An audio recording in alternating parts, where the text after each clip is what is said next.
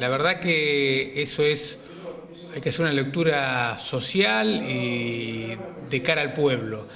Eh, yo creo que toda la política tiene que ser consensuada, tiene que ser de cara a la sociedad y sobre todo de cara a la población de Mercedes. Eh, nosotros creemos que la gente no tiene ningún interés en las campañas políticas. Eh, creemos que no son tiempos de campañas políticas, creo que se ha hecho mucho, pero tenemos que hacer muchísimo porque falta muchísimo. Y creo que la sociedad lo que está pidiendo la responsabilidad política, tanto al intendente, al ejecutivo como a nosotros,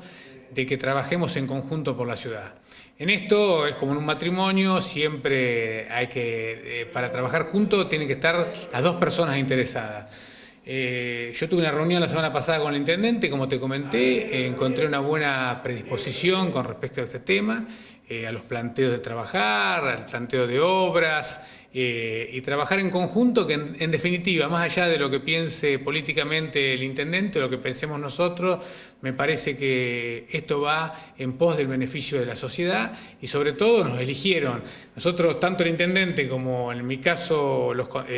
diputados, los concejales, han sido elegidos por el pueblo para favorecer y ocuparnos, no solo preocuparnos, sino ocuparnos de la ciudad de Mercedes. Así que me parece que esto responde a un pedido de la sociedad, del pueblo de Mercedes, a que realmente trabajemos en conjunto y podamos hacer eh, un Mercedes con más inclusión y un Mercedes que crezca y que tenga una proyección no solamente de los jóvenes, sino también de toda la ciudad en su conjunto. Que no, uno no se tiene, la gente no se tiene que sorprender que sigan este tipo de reuniones con ustedes, con el intendente, con el diputado de Pedro, con el mismo doctor Te repito, mira, yo sé que el diputado de Pedro ha estado, creo que el día lunes, con el intendente también, y que realmente tiene la misma visión de trabajar en conjunto, porque te repito, me parece que esto va en, más allá de los temas personales o políticos, que te repito, creo que a la gente no le interesa, estoy convencido porque uno lo escucha en la calle,